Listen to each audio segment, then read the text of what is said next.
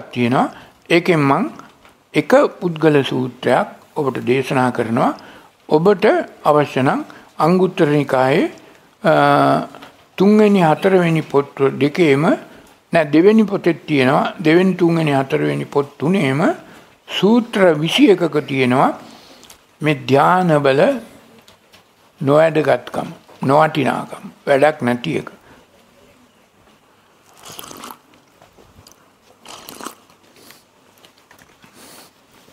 දැන් මේ අංගුත්තර නිකායේ චතුත්ථක නිපාතේ දෙවෙනි පොතේ චතුත්ථක නිපාතේ තියෙන්නේ හතරවෙනි නිපාතේ තියෙනවා පුද්ගල සූත්‍රය. ඔබට කොලයක් පිටපතක් ලැබෙන්නේ නැතිනේ. චත්තාරෝ මේ භික්කවේ පුද්ගලා සන්තෝ සංවිජ්ජමානා ලෝකස්මේ. මේ ලෝකේ අතීතේ බුදුහාමුදුරුවෝ හිටිය කාලේ ලෝකේ සන්තෝ සංවිජ්ජමානා ලෝකස්මින් හතර ආකාර වූ පුද්ගලයෝ දකින්න ලැබුණා. චත්තාරෝ මේ භික්කවේ පුද්ගලා. නොයෙකුත් පුද්ගලයෝ දකින්න ලැබුණා. මේ හතර පුද්ගලයෝ කියන්නේ ධානලාභීන්.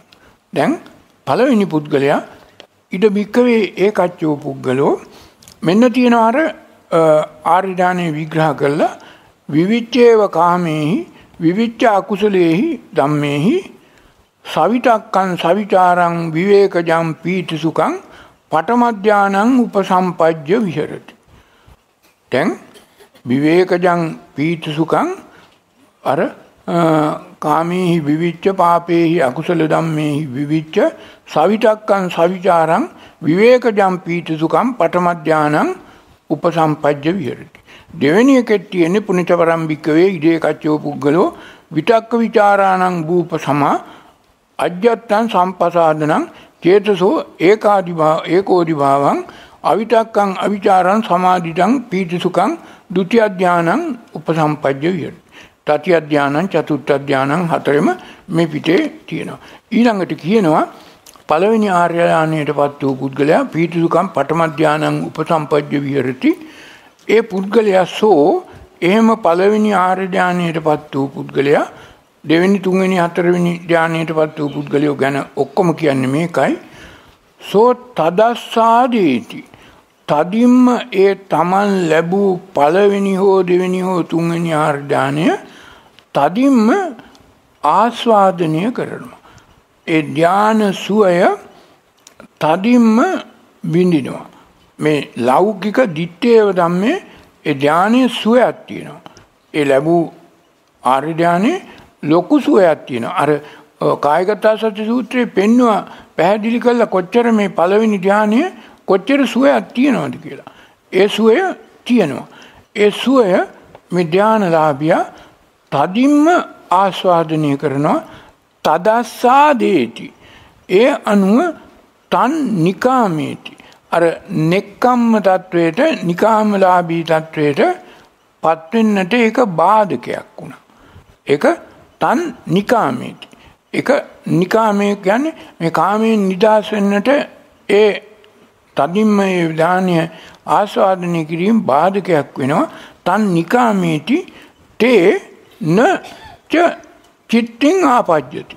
මේක ඇවතක් බව මේ ධානය තදින්ම ආස්වාදනය කිරීම මේ ධානයේ තදින්ම බැසගෙන කටයුතු කිරීම අර තදති මුට්ටෝ මේක වැරදි බව ඒ පුද්ගලයාට ඇවතක් බව තේරුම් ගන්න බැරි වුණා. න තේ න ච චිත්තිං ආපජ්ජති. තත්ත ඒ අනුව තිතෝ තදති මුත්තෝ අර තිතෝ තදති මුත්තෝ තබ්බහුල විහාරේ. අර ඊයේ කිව්ව චජක් චචක්ක සූත්‍රයේ කිව්වා නන්දති අභිනන්දති අභිවද්දති අජ්ජෝසාය තිට්ඨති. ඒ අජ්ජෝසාය තිට්ඨති කියන එක තමයි මෙතන තද තිතෝ තදති මුත්තෝ කිව්වේ ඒකමයි කරන්නේ ඒකෙම ඒ ධාන සුවයම තදින්ම ධානයට සමවැදිලා ධාන සුවය විඳිනවා එතකොට අර ඒ ධානය උපාදානය කරගන්න. ඒ අනුව තදති මුත්තෝ තබ්බහුල විහාරී. ඒ ධානයෙන් මිදෙන්න බැරි වුණා. ඒකෙන් ඒක ඒකම උපාදානය කරගෙන ඒකෙම ඇලි ගලි ඒකම ඒ ධාන සුවේ විඳමින් ඉන්නවා. ඒක වෙනවා. ඔය ආර්ය ධානයක් ලැබුණත් මේ ධාන සුවයක් තියෙනවා. පුදුම සුවයක් හිතන්න බැරි සුවයක්. ඒකේ ඒක උපාදානය කරගන්නවා. ඒකෙන් මිදෙන්න බෑ. ඒක ආස්වාදනය කරනවා. ඒකෙන් මිදෙන්න බැරුව. ඒක ඇවතක් බව දන්නේ නැහැ ඒ අනුව තදති මුත්තෝ තබ්බහුල විහාරී. ඒ ධානයෙන් අපරිහීනෝ පිරිහෙන්නේ නැතුව කාලං කුරුමානෝ. කාලං කිව්වේ කෙලස් පොදිය තාම අත්තරලා නැහැ. ඒක නිසා කුරුමානම තියෙන්නේ ඒ ධාන සුවය පිළිබඳ. කුරුමාන කියන්නේ ඉලක්කය. ඒ අනුව ඒ කුරුමානය තිබුණු තැනට බ්‍රහ්මකායිකානන් දේවානං සහව්‍යතං උපපජ්ජති. ඒ අනුව කවදා හරි මිය පරලෝ යන දවසේ කාලං කුරුමානෝ කියන්නේ ඒ මේ යෝගාවචරය මිය පරලෝ යනවා. මිය පරලෝ යන වෙලාවේ කුරුමානම තියෙන්නේ අර බ්‍රහ්ම සහව්‍යතාවය ඒ අනුව බ්‍රහ්මත්වයට පත් වෙනවා. ඒ අනුව බ්‍රහ්ම කායිකානං දේවානං සහව්‍යතං උපජ්ජති. ඒ අනුව අර ආකාසානඤ්ඤායතන ආකිඥානන්න විඥානඤ්ඤාය නේව සංඥා මේ තැනක උපදිනවා. ඒ අනුව සහව්‍යතං uppajjati uppajjati නෙමේ උපප්පජ්ජති. බ්‍රහ්මකායිකානම් භික්කවේ දේවානම් කප්පෝ ආයු ප්‍රමාණ ඒ ආයු කල්ප ප්‍රමාණය ගෙවල අවසන්නේ තත්ත පුතුජනු. තාම පෘථග්ජන පුද්ගලයා ආර්ය ශ්‍රාවකයෙක් නෙමෙයි. මගපල් ලැබුවේ නැහැ සෝතාපන්න වුණේ නැහැ තත්ත පුතුජනු යාවතායුකං තත්වා යාවතකන් තේසං.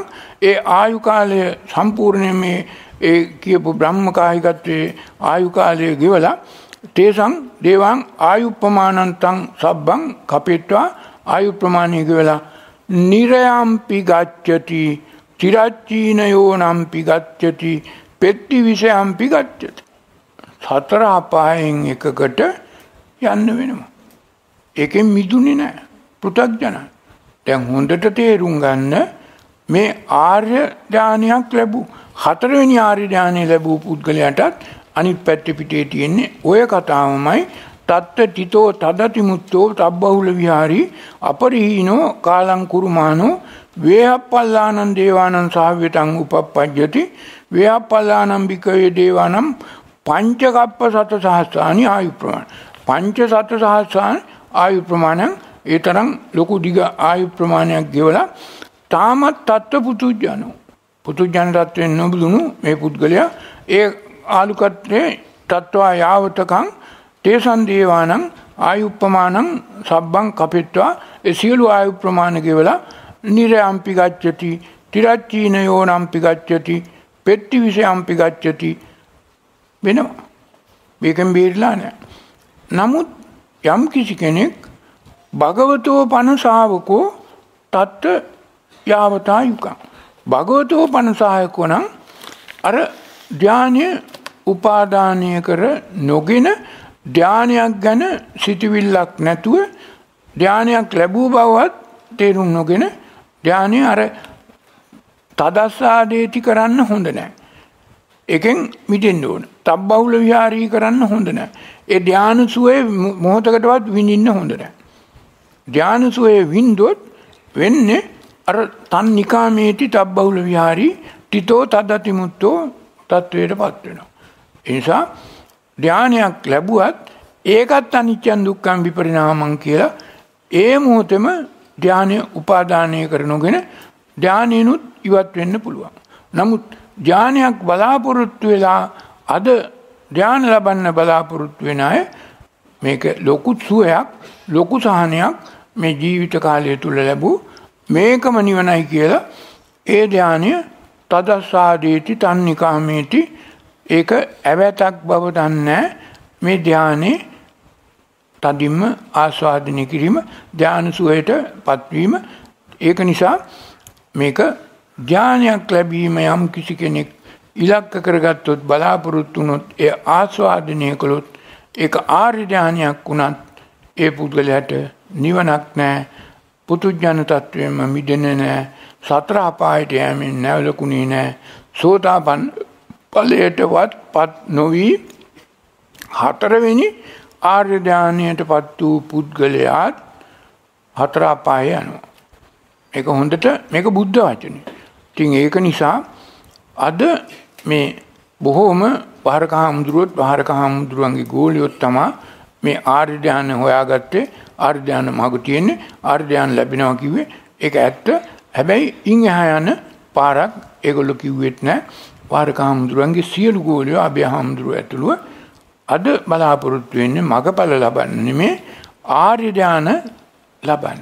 හැබැයි ආර්ය ධ්‍යානයක් බලාපොරොත්තුවෙන් කටයුතු කරන පුද්ගලයා ඒක තදස්සාදීති තන්නිකාමේති තබ්බහුල විහාරේ තිතෝ තදති මුත්තෝ වෙනවා. ඒක නිසා පුතුජන මිත්‍යත්වයෙන් මිදෙන්න බෑ. ඒක උපාදානයෙන් අයින් කරන්න බෑ. ඒක කීයටවත් අයින් වෙන්නේ නැහැ. මොකද බලාපොරොත්තු වුණු තිබෙ මුලින් ඉඳන්ම මේ ධානයක්. ඒ ධානය සුවයි. ඒ ධානය සුවය ලබනවා. ඒ ධානය සුවෙන් මත් වෙනවා, මුලා වෙනවා. ඒකෙන් මිදෙන්න බැරි වෙනවා. මගපල ලැබීම වැහෙනවා. ඉතින් ඒක නිසා කිසිම බෞද්ධයෙක් කොතනකවත් බුදුහාමුදුරුව මේක දේශනා කළා තියෙනවා ධාන ලැබෙයි. ඔහෙ ලැබිච්චා. ඒක කීයටවත් බලාපොරොත්තු වෙන්න එපා. ඒක ආස්වාදනය කරන්න එපා. ධානේ තපන්න දපන්න එපා. ඒක නෙමේ අපේ අවසාන බලාපොරොත්තුව ඒකත් අනිච්චන් දුක්ඛම් විපරිණාම ධම්මං ඒකෙන් පුළුවන් තරම් ඉක්මනට ඒකෙන් මිදෙන්න ඕන ඒක අත්තරින්න ඕන ඒක උපාදානය අත්තරින්න. එහෙම කළොත් පමණයි මගඵල ලබන්න පුළුවන්. ඒක නිසා දැන් වාරකාම්දුරගේ පුළුවන් තරම් ධාන ලබන්න ධාන වඩන්න ධානයේ සමාධින ධානයේට සමාධින කියලා ධාන සුවේ විඳින්න. ඒක වැරදි. ඒක කතාව තමයි ගෝලියොත් ගත්තේ මේක හේතුව ත්‍රිපිටකේ පරිවර්තකයෝ කිව්වා මානිනි ධ්‍යාන වඩව් කියලා පරිවර්තනය කළා තියෙනවා සිංහලට. නමුත් මාගදී භාෂාවේ එහෙම එකක් කොතනකවත් කියලා නැහැ. මාගදී භාෂාවේ තියෙන්නේ මේ රාගක්කයෝ, ද්වේෂක්කයෝ, මෝහක්කයෝ කරන්න කියලා. නමුත් ඒක පරිවර්තනය කළේ මානිනි ධ්‍යාන වඩව් කියලා. මානිනි භාවනා කරව කියන එක සතර කමඨාන් භාවනා කරව කියන එක මානිනි ධ්‍යාන වඩව් කියලා පරිවර්තනය කළා. ඒක නිසා මේ පරිවර්තනයේ තියෙන වැරදියක් වහරක හාමුදුරුවෝ අල්ලගෙන ගෝලියොත් අල්ලගෙන අද මිනිසුන්ව නොමග යවනවා මේක අපි හොඳට පැහැදිලිව කියා දෙන්න ඕන ඒගොල්ලන්ටත් කියන්න ඕන මේ නිවන වහනවා වැහෙනවා ඔය ධානය පස්සේ ගියොත් ආර්ය ධානය බලාපොරොත්තුෙන් ඒ සඳහා වැඩ කළොත් ඒක නිසා කවදක්වත් කිසිම බෞද්ධයෙක් ධානයක් පිළිබඳව ශේෂයක්වත් බලාපොරොත්තුවක් තියෙන්න ඕනේ ධානය කියන්නේ දවා හැදීම දවා හැරීම. වැඩක් නැහැ දවා හරලා මුල උදුරන්නයි ඕන. බුද්ධ කියන්නේ බව උද්ද කියන්නේ මුල උදුරීම. ඒ නිසා ඔබ සියලු දෙනා ඔබගේ ගාව ඔය තියෙන ඔබ සකස් කරගෙන තියෙන මේ රාග මුල, ද්වේෂ මුල, මෝහ මුල උදුරා දෙමීමේ එකම චේතනාවෙන් නික්ලේශී තත්වයටපත් වීමෙන් රාගක්කය, ද්වේෂක්කය, මොහක්කය කරන්නට අදිස්ථානයක් ඇති කරන කටයුතු කරන්න. ඒ අනුව ධානය ලැබෙයි. ඒවත් තුට්ටුවක්වත් වටින්නේ නැහැ. ඒවැ වැඩක් නැහැ, හරයක් නැහැ, අර්ථයක් නැති බව තියෙනවා.